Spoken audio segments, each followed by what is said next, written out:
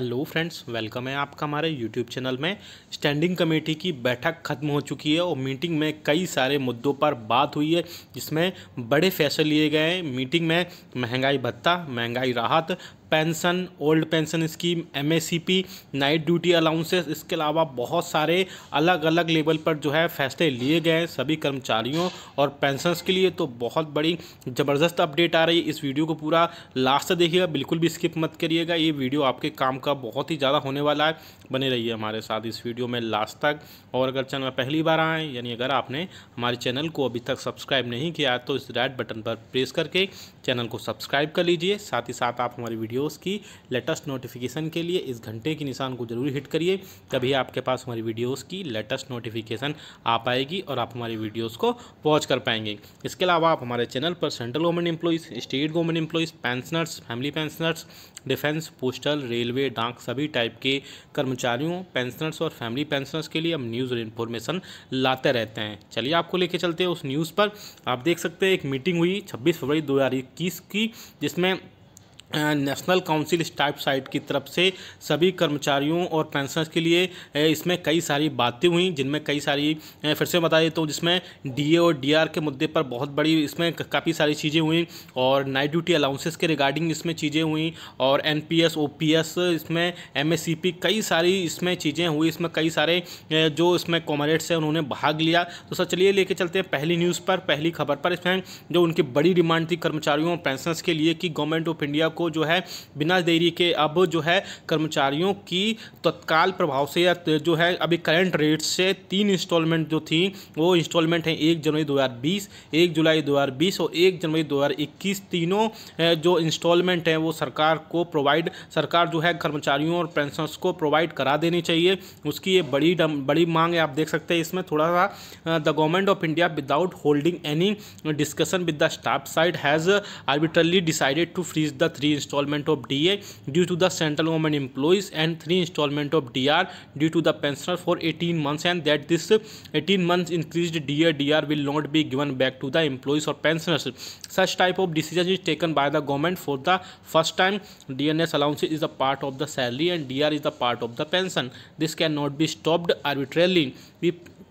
आप देख सकते हैं the decision of the government and demand the D A D R due from one one twenty twenty one seven twenty twenty and one one twenty twenty one में please be given in the cash of the central government employees and central government pensioners immediately since the government is claiming there the economy of the country as considerably increase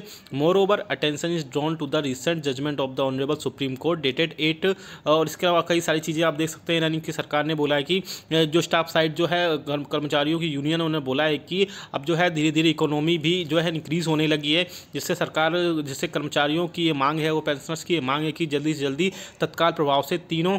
जो instalment है, एक जनवरी दो एक जुलाई दो और एक जनवरी दो की तीनों जो इंस्टॉलमेंट है, कर्मचारियों और पेंशन को प्रोवाइड करानी चाहिए। आप हमें कमेंट करके ज़रूर बताइए कि कितना जो है, कितना आपको कमेंट करके बताइए कि कितना डी ए आपको प्रोवाइड कराना चाहिए सरकार की तरफ़ से। और भी कई सारी चीज़ें आप इसमें देखी, देख लीजिए, बाकी सारी चीज़ें इसमें मैं आपको डिटेल में बता दूँगा। दूसरा जो है, एक और बड़ी डिमांड है, जो एमएससीपी की जिसमें मैं बात कर रहा था, आप देख सकते हैं इसमें demands raised by the staff side in the meetings and after discussion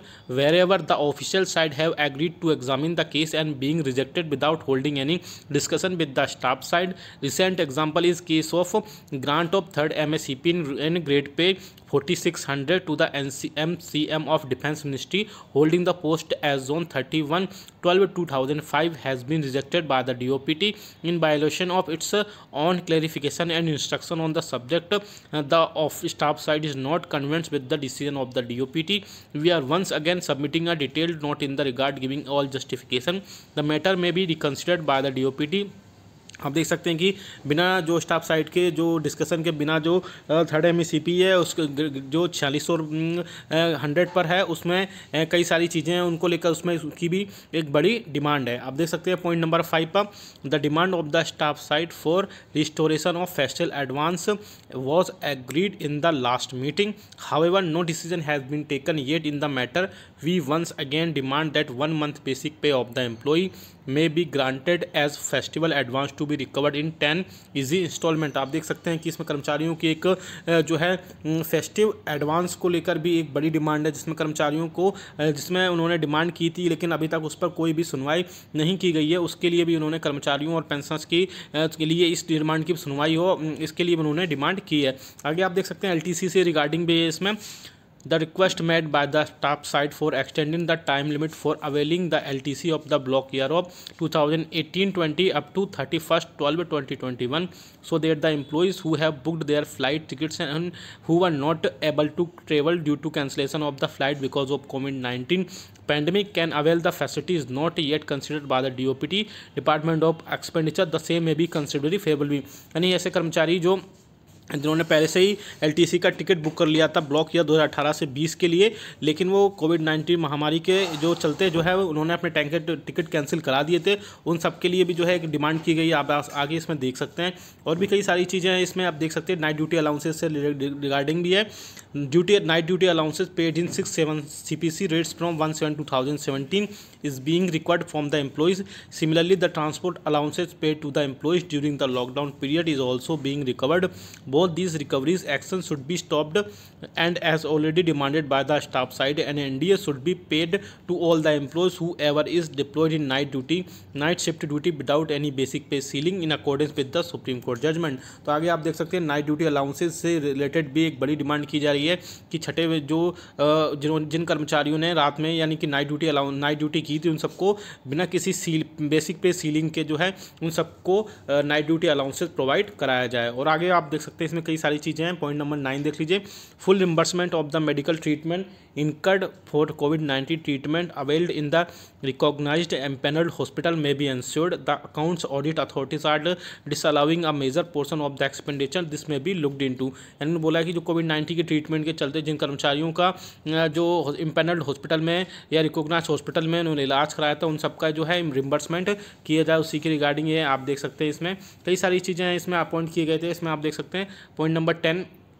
point number ten में भी, जिसमें आप देख सकते हैं, कई सारी चीज़ें लिखी गई हैं। The demand of the staff side for payment of compensation of the employees who died of out of COVID nineteen infection and immediate grant of compassionate appointment to the dependent is your is not yet consider by the government this request में भी considered favourably by the government यानी Covid nineteen के pandemic के चलते जो employees जिनकी death हो गई थी, उनका कंपनसेशन के तौर पर कंपसनेट बेसिस पर अभी तक अपॉइंटमेंट नहीं किए गए उनके डिपेंडेंट को। तो उसके लेकर भी सरकार से जो है गवर्नमेंट से रिक्वेस्ट कर रही है जो है एन सी और भी कई सारी इसमें डिमांड थी, आप देख सकते हैं इसमें।